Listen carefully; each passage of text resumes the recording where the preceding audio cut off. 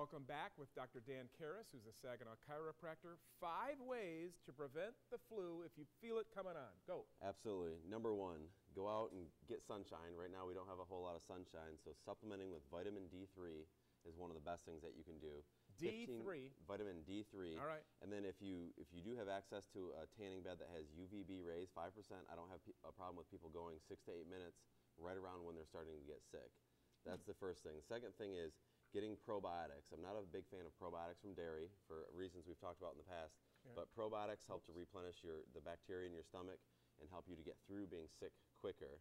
The next thing is going to be apple cider vinegar. We've You talked about that. that in the past.